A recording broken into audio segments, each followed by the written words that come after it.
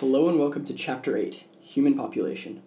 So, uh, by the end of this presentation, you're going to basically want to have a good understanding of human population. So, basically, everything that covers um, the amount of people on this planet, uh, the problems associated that with that, uh, including environmental issues, obviously, uh, the distribution of that population, and things along those lines. All right, let's get into it. Okay, the human population is growing rapidly. So, something to keep in mind is that even if the growth rate of a large population remains somewhat steady, the population is still going to grow.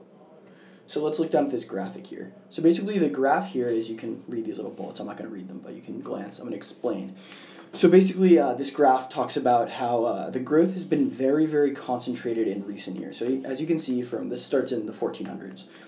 So in the 1400s uh, through probably the 1900s, it's kind of like a very slow, steady, gradual thing. But then as you get to the 1900s, and then even within the 1900s, go to like the 1960s, for instance, the peak, as you can see right there, the population shot up. And now it's starting to level out a little more as you enter the 2000s, 2014 currently.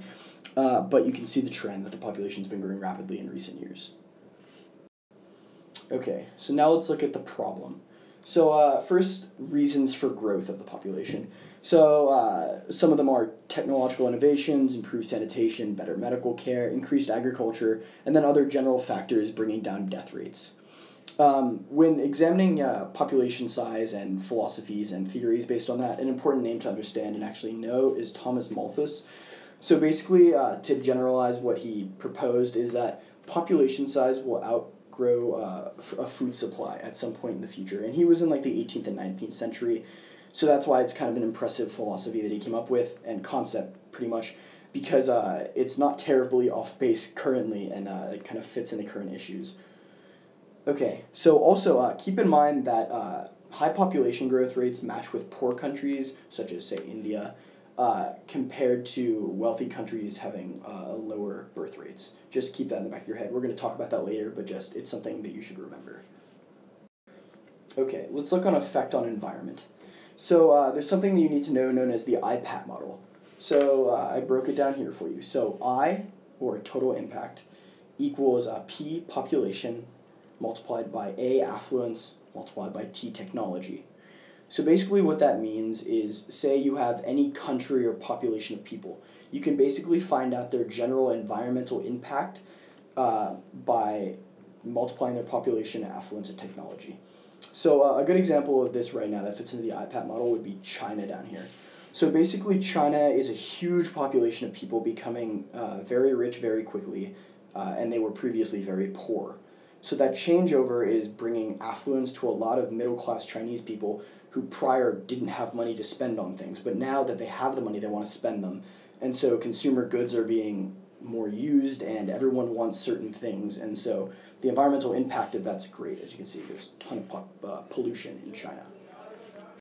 All right, now let's look at demography, population size and density. So basically, demography is, in a general sense, the study of human population changes. Okay, let's take a look at human carrying capacity. So just as any species, uh, humans actually do have a carrying capacity. The problem is that no one really knows where it is because we continually progress scientifically, and thus the number would keep increasing because we can figure out new ways to support the population. So say I could throw out the number 10 billion is going to be the carrying capacity. I really have no basis for saying that because tomorrow, for instance, somebody could invent something that could prolong everyone's life this much but it could also change agriculture so that we can grow this much more food in this little of space. So really, it's really hard to pinpoint exactly. Okay, uh, also let's look at how population grows around the world in different ratios and clumps. So there's an uneven distribution of populations around the world, obviously. So therefore, uh, resources deplete unproportionately in certain places. Just keep that in the back of your head. All right, now let's take a look at demography, age structure. So these are what are known as population pyramids, and you're gonna want to have a pretty good understanding of this because there's always FRQs on APs or practice APs, or even just in class that uh, you have to discuss these. So basically, there are three basic breakdowns. There's a rapid growth, a slow growth, or a zero, or a, a no growth, or a, even a negative growth. So uh, let's look through these briefly. So uh, the rapid growth, as you can see, it's a very severe curve. So you can think about it like that. That's how you can remember remember rapid growth. Excuse me. So down here at this age segment of 0 to 14 years old, that's the largest segment in the rapid growth. So because there are a lot of young people, there's a high reproductive rate, thus there's a rapid growth. Now if you look at a slow growth or just a very stable thing, you can look at this the US, Australia, Canada, very stable populations. Uh, basically, there's a pretty even distribution along the way. Granted, there's a lot of people in this middle bracket here, there's a good amount in the bottom, not that many old people. It all works itself out. Now, if you look at zero growth here, or um, negative growth in some charts, uh, basically there's way more older people compared to the amount of younger people in that 0 to 14 year old range, and so there's a lower reproductive rate, thus a slower growing population. So that's a pretty general understanding of those, but it should cover what you need. All right, now let's look at birth, death, immigration, emigration, and TFR, or total fertility rate. So uh, this diagram here looks a little confusing, but I'm going to talk you through it. So basically, the growth rate in uh, developed countries peaked in the 1960s. So you can look at things like Europe, very much leveled out there. Uh, and in undeveloped countries, uh, look at Africa right here, it peaked in the 1990s. You can see it kind of started to level out there. So keep in mind that both developed and undeveloped countries have peaked population growth wise at this point, current day. Um, however, the uh, world population continues to grow because um, a larger group of people, a larger population with a slower uh, rate of birth, still produces more people than a smaller population does with a higher birth rate. So uh, that's basically why the population keeps growing, even though the birth rate um, amounts have peaked in both developed and undeveloped countries. Also, something to keep in mind is TFR, total fertility rate. So basically, what that means is that's the average number of children per woman. Basi- that's basically all that means. So um, the replacement fertility rate, or think about that as stability. So in order to keep a population stable, uh, the replacement fertility rate is somewhere around the 2.1 children per woman rate. And granted, there's a little wiggle room there, but it's somewhere in that range. Um, and so if you're uh, above 2.1 children per uh, woman on average, then that's a fast growing population. And then if you're below that, it's a shrinking population or a slow growing population. So just keep that in mind.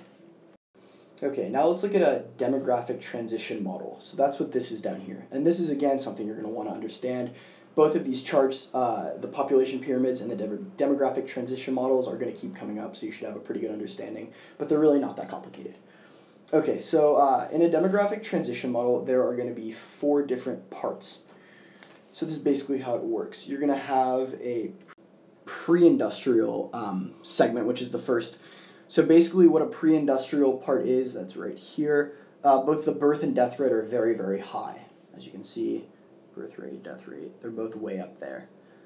Okay, as you move into this transitional period, that is the period that has the most growth.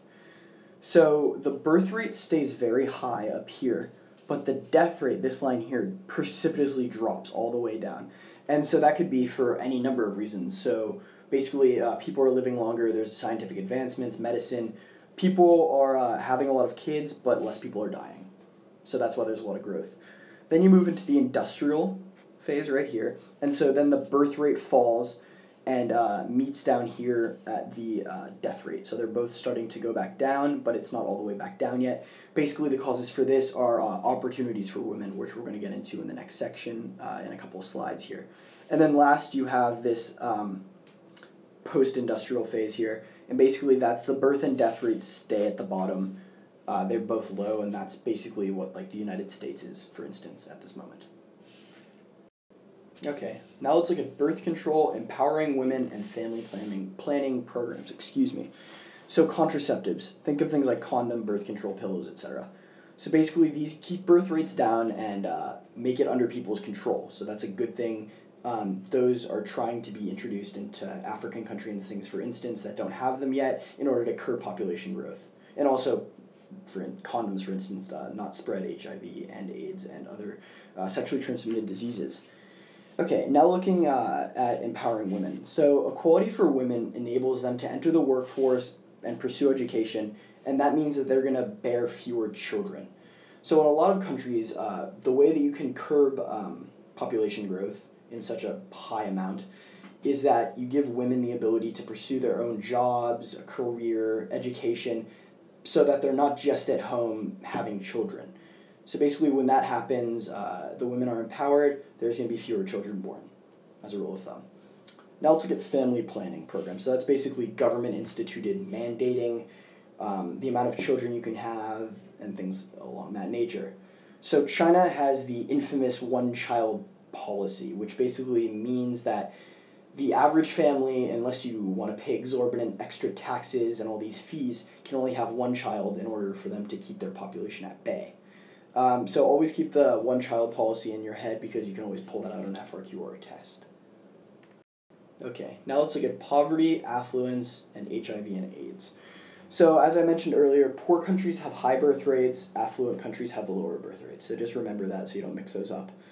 And then uh, HIV and AIDS is uh, limiting growth in Africa. So even though we can go, uh, well, I mean, you can go back and look at a population pyramid.